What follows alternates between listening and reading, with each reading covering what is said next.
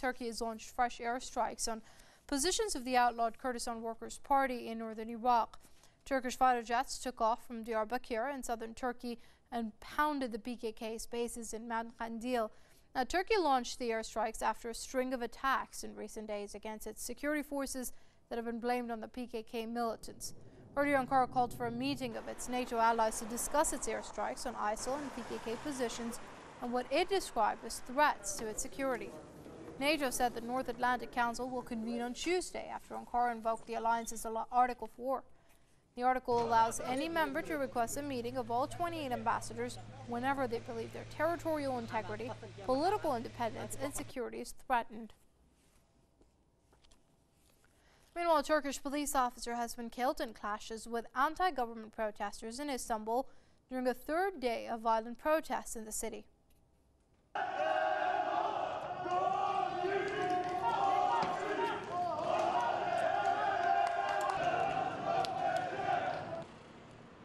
Security officials say the officer was shot in the chest from inside a building while he tried to make an arrest. The protesters were angry over last week's bomb attack against a group of Kurdish activists in the border town of Suruc. They also voiced opposition to Ankara's policies in Syria and Iraq, as well as the recent airstrikes in the two countries. Similar rallies were also held in the capital, Ankara. Let's speak to the managing editor of Veterans Today, Jim W. Dean. He joins us via Skype from Atlanta. Many thanks for joining us here on Press TV, Mr. Dean. Now, first of all, let's look at these airstrikes that have taken place in northern Iraq. Sy Syria was targeted by Turkey as well. Isn't that violating two countries' sovereignty? Well, it is, but it's something that Turkey's been doing for a, a long time.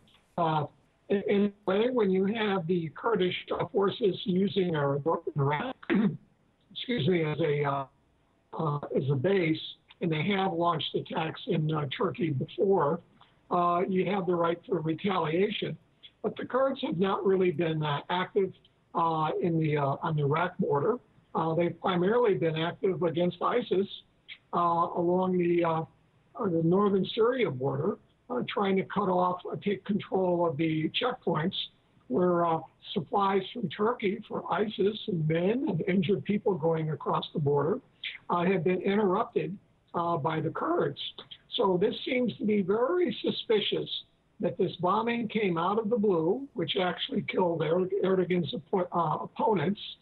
It's instantly put at the feet of ISIS, although ISIS hasn't claimed it when everybody knows that Turkey's been supporting ISIS uh, more than a little bit. So this is very strange. And then uh, the cherry on top is the call a NATO meeting and claim that the territory is being uh, threatened uh, when this dispute has been going on forever.